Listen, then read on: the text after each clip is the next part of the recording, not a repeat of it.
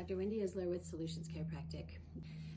I guess the subject today is going to be uh, car accidents and can chiropractic help with car accidents? I um, am a chiropractor because of a car accident that I had. I had my head turned when I had an impact. It hurt a lot. I had the airbag blew up.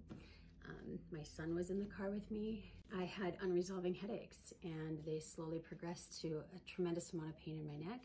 I went to a chiropractor, but I was pretty reluctant. I didn't know what to expect and I didn't want him to break my head off.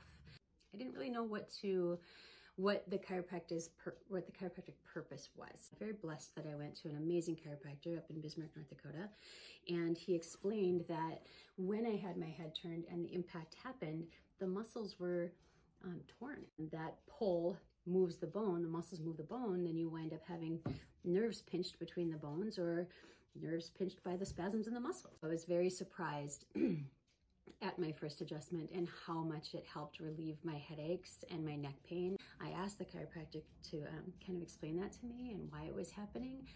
And he basically said that, well, when you've got pressure on a nerve, it hurts. And if we can take the pressure off the nerve, the dysfunction can kind of start subsiding as well. We want the brain to run the body.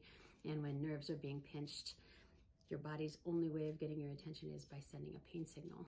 The question is, can a chiropractor help with an with an auto accident? And my answer is going to be yes, every time.